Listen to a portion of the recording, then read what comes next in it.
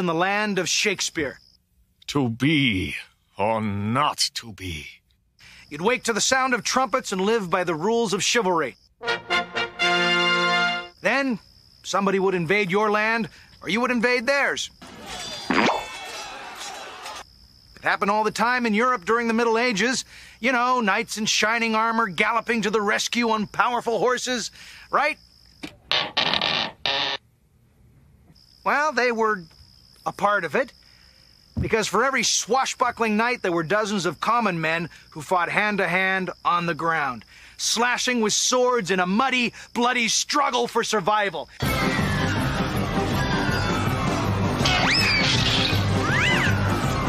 And when the fighting ceased, they walked and walked and walked.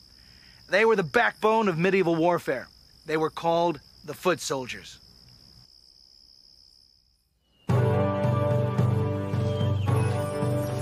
They lived and fought in the many countries of medieval Europe. These were men who had to look their enemy in the eye and kill them with their hands. If they weren't so lucky, they would die themselves. These early soldiers clothed and equipped themselves with whatever they could afford. If you owned a horse, you would ride. If you didn't, well, you were a foot soldier. God, wish I had a horse.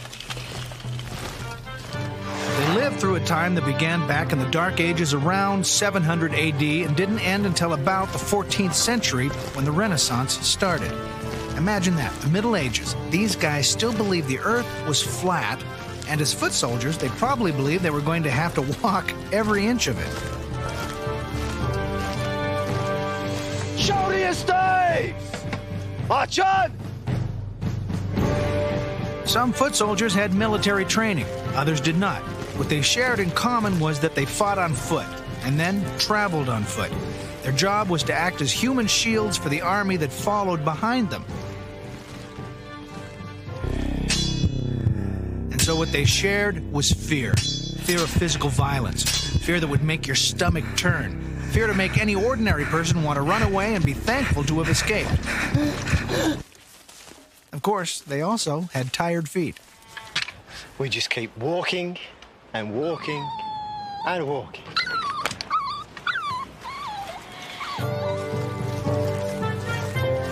With 500 years to perfect their soldiering, they had lots of time to think about why they did it. For the most part, they had to. It was their duty to the king under the old system of government called feudalism. Under the feudal system, from England to as far away as Hungary, all the land in each kingdom was owned by the king. A pretty good setup, well, if you happen to be royalty. Now, the king couldn't use all this land by himself, so he would give out parcels to noblemen and lords. In exchange, the nobles had to provide an armed force to carry out the king's wishes, so they would let common men farm the land on one condition. These men would have to muster under their landlord's banner or flag when they were called for military service. Today, we just pay our landlords the rent. But the arrangement hasn't changed much otherwise. If you didn't pay the rent by showing up for service, you'd get kicked off your farm. Come on, Nine. Come on, what? Or I'll lose my land? You guys go on without me. I need to tell the people who started this. As most of you may remember from high school, this feudal system really got its jumpstart because of a man called Charles the Great, or in French, Charlemagne. In 768 AD, when his father died, Charlemagne became king of the Franks. His land included France and most of Germany. Pressing the men of these lands into military service, Charlemagne led a series of campaigns that lasted 30 years. During this time, he conquered a lot. By 800 AD, Charlemagne was king of a huge plot of real estate that covered what are now France, Switzerland, Belgium, and the Netherlands. It also included half of present day Italy and Germany, part of Austria, and parts of Spain. Basically, by 800 AD, Charlemagne owned Western Europe. He was king now, and if you wanted to have land, you had to provide at least 40 days a year of military service. As a military leader, Charlemagne forbade his soldiers against drunkenness and lack of discipline. And the penalty for deserting his army was the confiscation of all a man's property. Well, the drunkenness part didn't hold up that long in Europe, but for 700 years, this feudal system pressed men into military service in order that they could keep land. All this war baloney with kings and castles and capturing knights even inspired a board game chess. I wonder if modern day intellects know just how much they owe to the medieval foot soldiers who inspired those little pawns.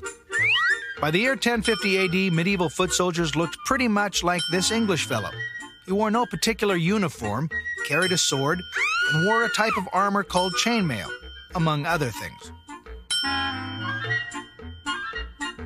Chainmail was a type of flexible armor that was made by joining metal links together to form. It's termed a, a hauberk. It's a, a long tunic which uh, reached down to the knees, um, with usually short sleeves, although they, uh, th there were uh, extensions that could be put on the sleeves, and also extensions that could be used over the legs.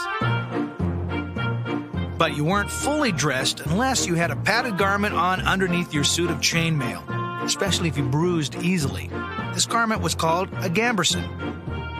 You hoped its padding would absorb the blow of a sword or spear in battle because the chainmail could only stop the cut, it did not stop the impact. In 1066 AD, English soldiers could have used more of this chainmail and a lot more padding. This was the year that they faced off against a bunch of Scandinavians who had recently become their neighbors. They were called the Normans, and they had just settled across the English Channel in France. History books tell us that they were not happy with just their piece of France, which they called Normandy. So, under their leader, William the Conqueror, the Normans invaded England at a place called Hastings. Well, the Battle of Hastings was fought over land. It was fought over a little island off the coast of the continent that the continental people really didn't have much attachment to, at least before Hastings takes place. But it was land. William the Conqueror liked land. The English infantry was weary by the time they arrived at Hastings. And guess why? Well, for one thing, they had to walk 200 miles to get there. For another, they had just been fighting in northern England where they had to thwart an invasion from the last of the Viking armies.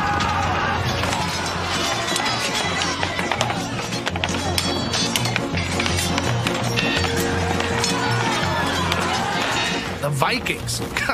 Talk about a hectic schedule. After that, their leader, Harold, King of England, marched them as fast as he could down to Hastings to stop William the Conqueror. And how about that dazzling knight in shining armor there? I guess he couldn't quite afford the horse. So, there's another foot soldier. The English, under King Harold, were outnumbered. The Normans fought from horseback in a fighting team otherwise known as or no chainmail to protect them. Armed with long-handled axes, the English foot soldiers managed to hold off the first wave of Normans who engaged them in battle. The battle ended in a rout. In other words, the English ran away. Most battles in the Middle Ages are fought because the foot soldiers flee. You find that in many different battles. Uh, as the cavalry gets closer, cavalry gets closer, suddenly the foot soldiers say, Why am I fighting? I'm not fighting for any reason. The money isn't worth it, or the obligation isn't worth it. And they turn and they run. Hundreds collapsed in the path of their pursuers. It was reported that many soldiers had no strength to flee, so laid down to die in their own blood. Poet wrote that the hooves of the horses exacted punishment from the dead English foot soldiers as the Normans rode over them. This is how a three century Norman occupation of England, Wales, and Scotland began. And it all started when the foot soldiers were forced to run away from a better equipped and more numerous force at the Battle of Hastings.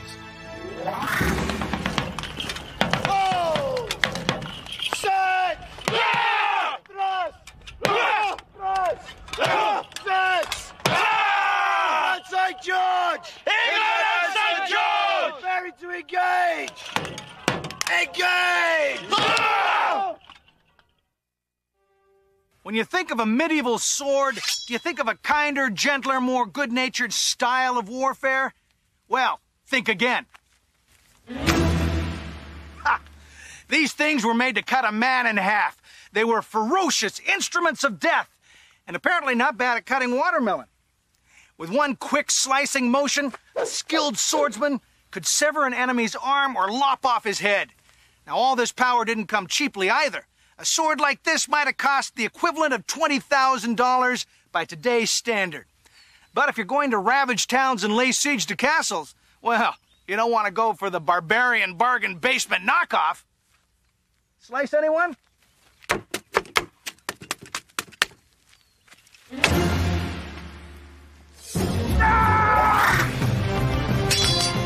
Pay retail? All sword prices slashed to the bone. Up to 50% off all genuine and forged iron swords. Use them for cutting your enemy or thrusting through that weak spot in his armor. Use with one hand or two. Chainmail and helmets at similar savings. Everything must go. One fortnight only at Durham Cathedral, 14th century in England. Okay, so maybe it wasn't that easy for a medieval foot soldier to get a hold of a sword of his own. Fact is, though, he was a lot more deadly on the battlefield if he could afford one. The effectiveness of the uh, later medieval sword as a killing tool is quite remarkable. Here, uh, we see the full development of the, the knightly sword, where you have two long sloping sides, which are ideal for cutting, and they come to a nice point, which make it good for thrusting. So, if you were fighting somebody wearing armor, you could sort of winkle between the plates. You could look for a, a break in the, uh, in the chainmail and thrust into it. Medieval swords were the product of a simple technology that succeeded in making pretty powerful weapons. Some swords were as tall as a man and so heavy they had to be swung about with two hands if they could be lifted at all. In the 13th century, a cousin of the sword called a falchion became popular for its short, broad blade that could split a head open like, well, like a watermelon. By the mid 14th century, when armor was more common in battle, cutting blades became less useful, and the most popular type of sword was forged with a familiar narrow blade. It had a strong central rib and a short point ideal for thrusting. A medieval foot soldier used all parts of his swords and body to put his opponent out of commission. Sure, he used the tip of the blade to stab with, but he also used the pommel or knob of the handle to bruise with. If he had a shield, he'd punch with it. If he dropped his sword, well, he might resort to biting and scratching. But then, he could expect to lose. The man still holding his sword at the end of the fight was usually the winner. Swords also had a lot of symbolic value to a foot soldier. Carrying one around was the modern day equivalent of driving a Ferrari. If you had one, you were bad, and the maidens would be all over you. Course, swords weren't just a symbol of wealth and status. Even though other weapons might prove to be as deadly, no other weapon in the Middle Ages symbolized the power to conquer and to lead more than the sword. Traditionally, when an army or garrison surrendered, they would present their swords to their captors as a plea for mercy.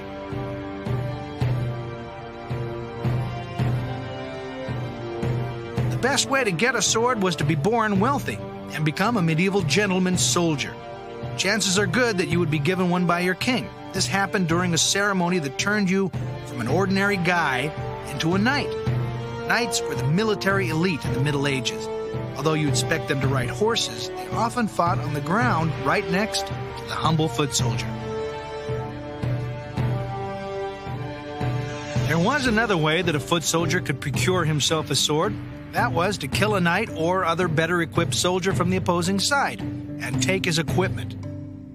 This was actually one of the rules of medieval warfare.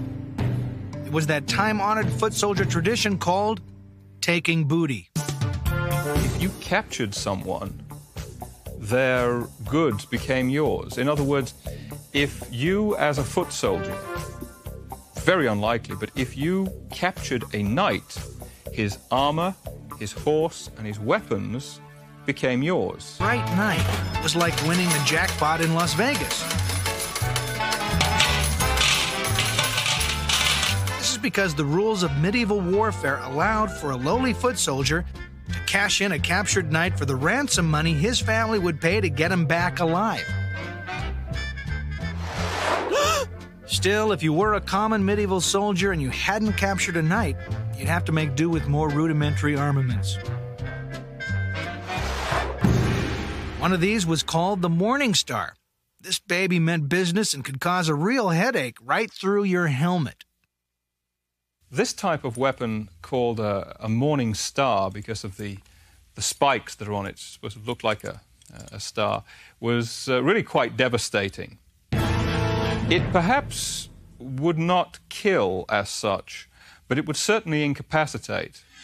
But uh, something like this uh, would be extremely effective because with the swing that you get as you hurl it about, you can get far more pressure on the point of contact of a helmet or a breastplate or, or a piece of armor. Uh, and you have no shock that you would have if you were holding a sword and, and you strike something, where the, the shock would transfer itself from the blade through your arm. Here, there's no such thing. All of the shock, all of the pressure goes into the head of this mace and will be transferred to your opponent. Another weapon in the common foot soldier's arsenal was his billhook. The soldier who carried one was called a billman. The billhook probably started out as just a farm implement attached to a long pole. But it would be refined into a dual purpose weapon that could stab with its sharpened tip or hook onto the armor of an opponent and pull him off his horse. Once you had him down, you pulled out your dagger to finish him off. A dagger can be used in several different ways. It can, of course, be used as a slashing weapon, but not very often was it used as a slashing weapon. Most often, a dagger was used to penetrate the impenetrable armor in some way. The armor was weakest underneath the arm, and so a dagger could be used to insert in the arm or in the groin. Most often, however, a dagger was used underneath the helmet to cut the throat. Charming. But that's not the end of it. An even more lethal weapon was about to change the face of medieval warfare. It was the most deadly and feared of the Middle Ages the crossbow. The foot soldiers had made home movies of themselves in camp, they would have looked something like this. The soldiers slept in tents and cut their tent poles from nearby trees rather than carrying such heavy lumber throughout a campaign. Meals were simple but hearty, and they were supplied by people called vittlers. Little is known of how they cooked, but you can bet it wasn't haute cuisine. Their food consisted of boiled mutton or beef with beans or peas. The men also had salted pork, fish, and cheese, bread, and of course, beer. In fact, part of an English foot soldier's rations included one gallon of beer a day. Not surprisingly, drunkenness was a problem in camp. And of course, there were the requisite camp followers. Camp followers in the Middle Ages were uh, largely individuals who could service the soldiers. And when I talk about service, I'm talking about laundry, foodstuffs, and sexual gratification. Uh, we always read about a large number of prostitutes in the uh, in camps. Laundry, yeah, right. In fact, prostitution among medieval soldiers was such a problem that any such camp follower found within two miles of camp would have her left arm broken as punishment.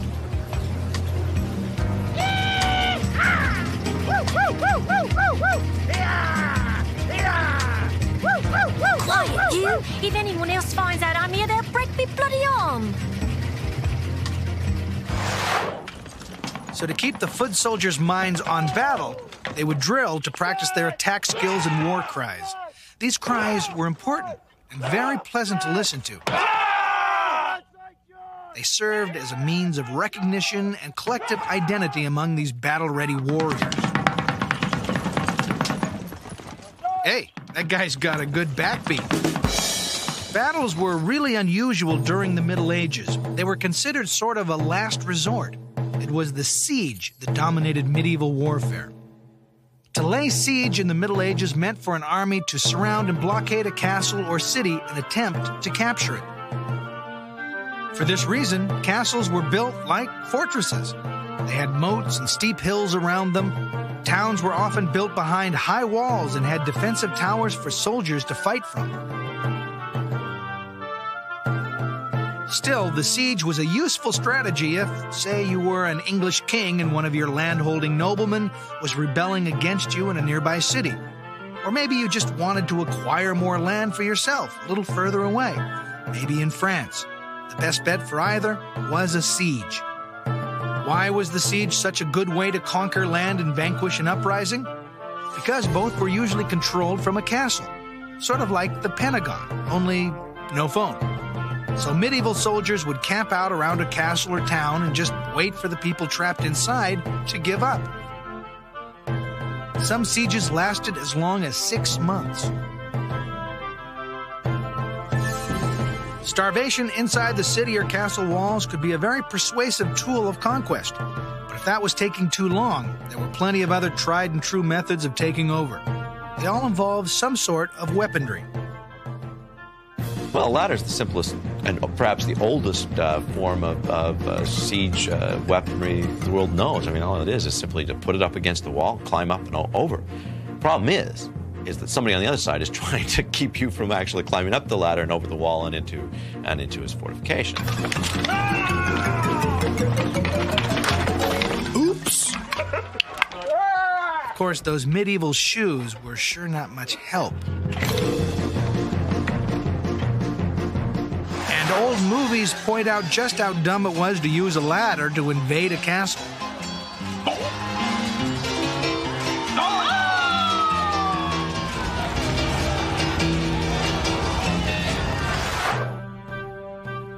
And so, variation on the ladder technique was developed called the siege tower.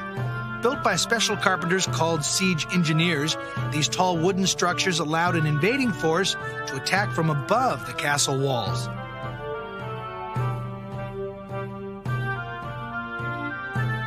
Familiar battering ram also made an appearance at any well attended siege. This one is even fashionably dressed like a ram. Usually, these batter- battering rams would, would be only of, of wood. We don't have a lot then left over. Every once in a while, we have these um, some form of large stone or metal uh, object that appears to have been the, the, the point of the battering ram. And you simply pound with this wood over and over and over again on a spot on the wall until you cause a fissure or you call it cause some form of breakage. Even more breakage could be caused by one of these. This great stone throwing machine was called a siege engine or trebuchet. And what they did was hurl heavy stones like cannonballs against a castle wall. Scholars tell us that some of these siege engines could launch a 33 pound stone across the length of two football fields and then smack into the castle. The medieval soldiers also experimented with hurling beehives over the walls to create panic. Sometimes, really crafty soldiers flew dead animals into the castle to try and spread disease, an old trick they picked up from the Romans. But there was one weapon that could be used by a soldier from behind the safety of a castle wall to strike awe and fear into his attacker. Good day. I'm Master Vance, captain in the service of His Grace the Duke of Gloucester. This is a crossbow. It takes considerably more time to load and fire than a longbow. But uh, it only took me a week to learn how to use this rather than a lifetime. The way I load it, is place my foot through this stirrup here at the bottom. Place in catch to stop me depressing the trigger. Take a firm grip of it, using both my back, my legs and my arms. Straighten and put it over the catch. Take a quarrel or bolt. Place it in. I'm ready to fire. medieval crossbows were made in two basic designs. One, called a windlass, employed a pulley and crank to slowly stretch the bowstring into firing position. The other style was smaller and used the soldier's foot in the stirrup to give the bowstring its lethal stretch. Well, crossbow, I think, was pretty deadly in combat. Uh, the crossbow it would deliver a bolt, very, very sharp, with a very sharp um, uh, point on it, at a very high velocity into an oncoming soldier. And that would tend, with this amount of power, and depending upon the pull of a crossbow, it would penetrate most every armor that it could encounter chain, plate, uh, cloth covered armor, almost anything. Problem with the crossbow, of course, was not the penetration capability, it was the aiming. So, how did they overcome this aiming problem? By simply firing as many crossbows as possible at the same target at the same time. The French would accompany this with the sounding of trumpets to cause further fear in their enemy. The hail of arrows or bolts was bound to hit something, if the shot itself wasn't deadly, there was always infection and disease to finish off a wounded medieval foot soldier on the battlefield. But there was another more brutal and fearsome form of fighting in medieval times. It was called the melee.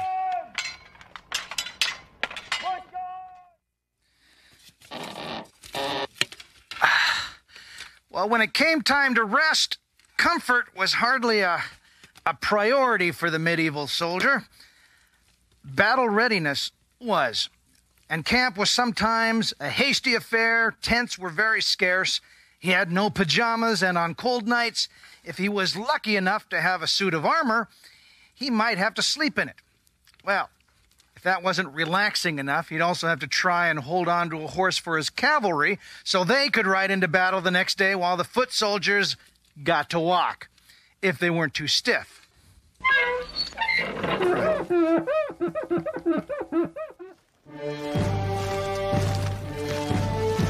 Even if he was feeling lively in the morning, a foot soldier in a suit of armor was in for a tiring day.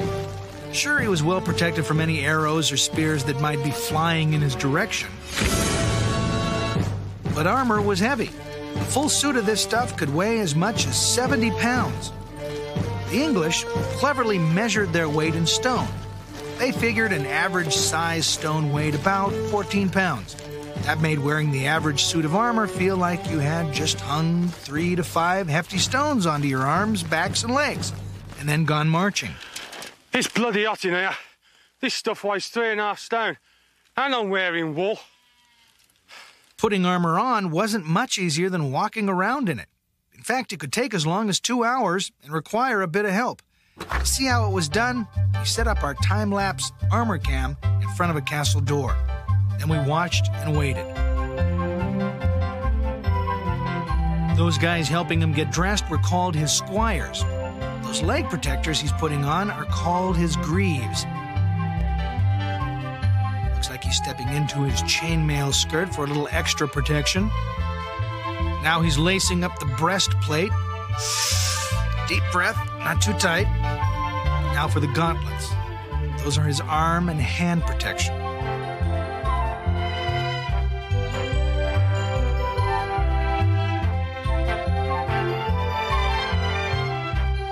Shoulder protection, which they called pauldrons, fit just like football shoulder pads.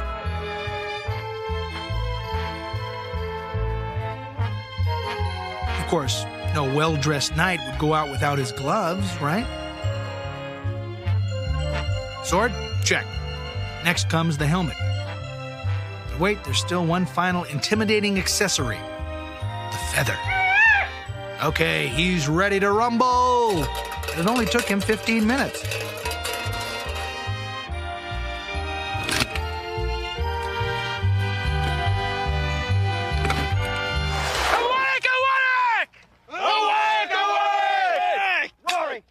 Battle cries served another purpose besides giving the soldiers a sense of identity.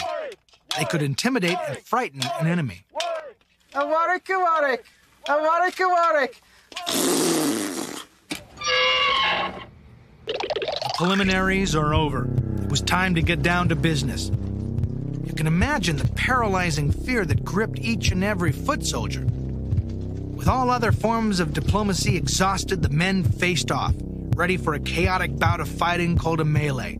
It was the most violent spectacle you can imagine. This was an all out brawl where there would be screams and cries and the sounds of bill hooks ripping flesh, swords clashing against shields, maces crushing skulls. Spears and lances pierced the warrior's armor, and knives were thrust right through the eye sockets and into noses. The smell of blood hung in the air, and the only rule was to survive and kill. Well, there was also a rule that said that you could flee, and that's really how some melees ended. The battlefield quickly littered with men dead, dying, and running away. Usually there, there would be a withdrawal. You would be looking at banners. This is the main thing. You would look to the flags of your own side to see where they were. After all, they were your rallying point. And you would look to the, the flags of the opposing side to see where they were. You could sort of work out whereabouts uh, the battle was going. Uh, this was a street brawl, not a game of chess. So once you'd won, you tended to know it.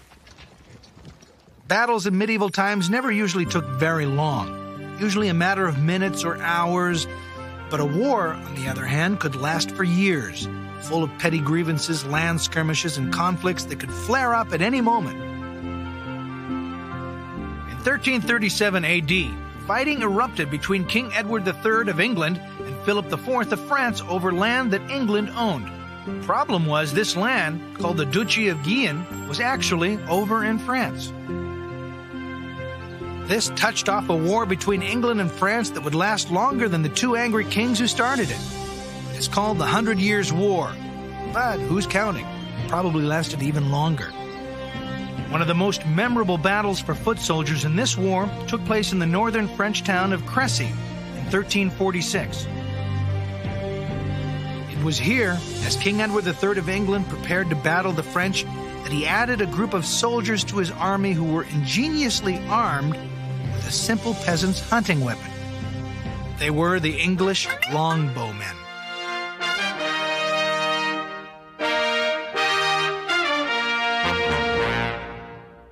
An English longbowman was the state of the art weapon for his time. Uh, he had to have a target to shoot at, but when he did, he could shoot constantly, accurately, and with devastating effect. He had different types of arrows for different types of target. He practiced every day. The English were generally outnumbered when they fought the French, and also not as well equipped, so longbowmen made a great deal of sense for the English.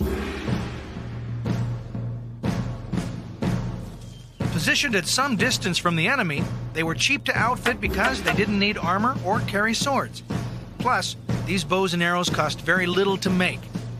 Add to that the fact that these archers had great aim and could reload and shoot almost constantly, it became apparent here at Crécy that the English indeed had a formidable weapon in the longbowman. I'm the best of these, an English longbowman, the best in the world. Mm-hmm. Nowhere was that claim more apparent than at Crécy, as an army of 60,000 French soldiers stumbled upon the English, whose archers had assumed a formation in the shape of a funnel. Their arrows were tipped to pierce chainmail armor. As each wave of French knights and foot soldiers charged into the funnel, they were met with clouds of English arrows that flew from three sides. The result was slaughter. The English lost less than 200 men, but the French lost between 10 and 20,000. The unsure number because nobody bothered counting foot soldiers in those days. But at least 6,000 dead knights had fallen and were accounted for. It made the English archer feel very, very good indeed. Uh, in fact, um, uh, there is a, a, an insulting gesture in England of raising two fingers. This came about uh, because uh, the French, the French king, put out an edict that any English archer captured would have three fingers from his right hand removed so that he could never again fire a bow. So the idea of sticking your fingers up at someone is an insult that has a very long history. Nearly a hundred years later, in this very long war, came a French peasant girl named Joan of Arc. Joan claimed to be inspired by religious visions to instruct the French army in the defeat of the English longbowmen during a standoff in France at a place called Orleans. She pointed out the oh so clever strategy that goes like this. If you go around the side of a longbowman instead of walking straight at him, he is vulnerable as anyone else with no armor. Hey, I'm not quite dead. Blast that Joan of Arc. I'm an archer. I was supposed to win. And so is born the phrase you win some and you lose some. Joan of Arc, of course, was later captured and burned at the stake by the English. But then in 1920, the church declared her a saint. Now, if this was payback time, it was a little late for poor Joan to appreciate it. But still, there were weapons to come that even Joan of Arc could not have envisioned. Medieval foot soldiers would soon enter the age of gunpowder.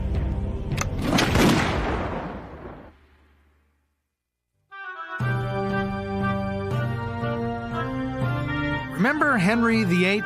Big guy, King of England, used to throw half eaten turkey legs over his shoulders. You know, the one who decapitated a few wives.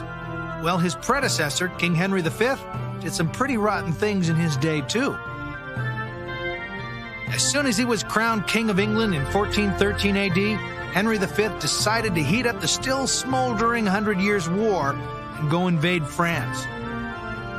So, after a short boat ride across the English Channel, about 10,000 soldiers arrived in France ready to march. They encountered a little resistance from the French, and King Henry figured he'd be having dinner in Paris in a couple of nights. In the meantime, the foot soldiers drank from the local streams and ate shellfish that they found near the shore where their boats had landed. You wouldn't do that today because you might get sick.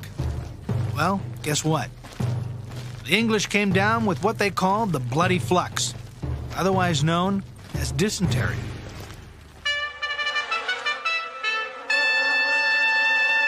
The foot soldiers walked and struggled for days. By the time they reached a town called Agincourt, the site where they would face a huge French army, no one had been spared the indignity and discomfort of this cursed affliction.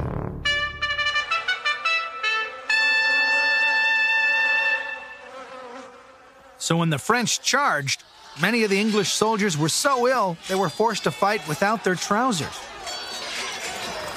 Not quite the same thing as, uh, as fighting uh, without trousers would be today because uh, the tunics were fairly long and came down to mid thighs. If you were in that position of uh, having dysentery, then you could just unfasten your leg wear, push it down, and uh, stand where you needed to fight and do what you needed to do. Despite their weakened state, the English archers held off the first wave of French cavalry with a storm of arrows. Those French who were not hit turned their horses around and charged into their own army to get away. With the French half beaten and in retreat, the English were able to rest a moment and regroup.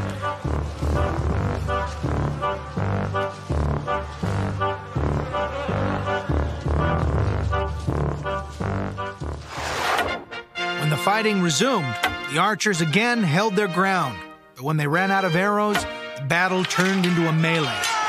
Fighting with axes, swords, and billhooks, the English reverted back to their earliest methods of warfare and miraculously forced the French into retreat. The French lost 10,000 that day at Agincourt, compared to a loss of only 100 English soldiers. You may never know if these deaths were caused by battle or the shellfish. What we do know is that hundreds more French were taken as prisoners, and the English foot soldiers had started to think about ransoming them back to their families. But Henry V had other ideas. After the battle, the foot soldiers began to march their prisoners home. The French outnumbered the English six to one, and Henry V was losing all his men. The French could still charge with their horses and move into victory. So the king ordered the prisoners killed killed because Henry V needed his troops back. This killing was an affront to the rules of medieval warfare. But the rules were in for some astounding change. The next change would arrive explosively. It would forever alter the nature of armed conflict. It was deadly and made a lot of racket when you used it. This was gunpowder. The original guns uh, were almost like um, bottle rockets with the explosive charge in the bottle rather than the rocket. And they fired a thing like a spear. Uh, this was reasonably effective, but uh, it was only uh, when people started developing the tube and using a round shot that artillery began to really come into its own. By 1415 AD, the picture of a medieval siege now included early artillery cannons that were called bombards. They could fire stone balls that weighed nearly 800 pounds into the wall or gate of a fortress and smash it. One bombard did the work of 20 foot soldiers with a battering ram or catapult, and it was faster. These were the top guns in medieval times. When cannonballs couldn't be found, the English army would shoot millstones out of their cannon. Enormous slabs of stone would fly toward the wall, gouge huge pieces out, and shatter it. The flying pieces acted like shrapnel. Anybody in the way would be showered with sharp stone fragments. Further refinements on the cannon led European gunsmiths to craft the harquebus. Was a handgun with a long barrel that was loaded with gunpowder and a ball just like a cannon. It was then aimed and fired with the aid of a lighted fuse or match.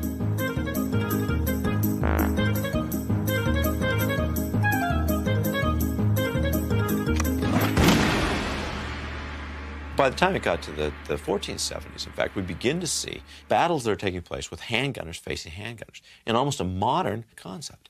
Uh, it isn't completely without its medieval, uh, its medieval constructs. Suddenly, foot soldiers now uh, arrive in battle not with lances, not with swords, not with spears, but with handguns. It's changing the face of warfare. An archer takes years to train, and in the course of a day's battle, he'll shoot half a wagon load of arrows. I can carry here all I need powder, priming powder, and shot. I can carry enough to shoot half a day on me.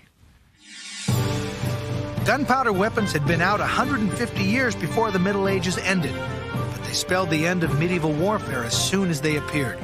Slowly, soldiers began to rise up in rank based on their skill with a firearm instead of how much armor they could afford or whether they had a horse.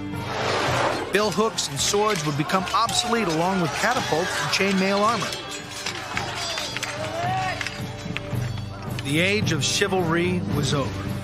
But despite the changes on the battlefield, there would always be a need for men who fought on their feet for the glory of their country.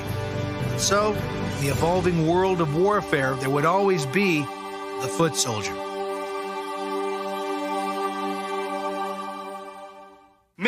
warfare was hard, grueling, and a royal pain in the arse. Sure, there was the glamour of colorful flags, the sounds of trumpets, the glitter of armor, but it was mostly mud, brutality, and terror. Kind of like slam dancing at Woodstock 1266 AD. This was a time of legendary heroes, but it was also a time for ordinary men to win the day and carry the weight of history.